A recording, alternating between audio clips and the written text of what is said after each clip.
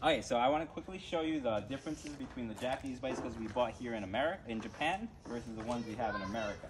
So first, you know, most bicycles in Japan have this kind of locking system. So you can lock and unlock your bike, and it's all built into the bicycle. So you just take your key and go. You also have a lot of these built-in flashlights that are generated by um, just the, the, the bicycle wheel, and just disconnect it when you don't need to use it. You also have a lot of these drum brake systems.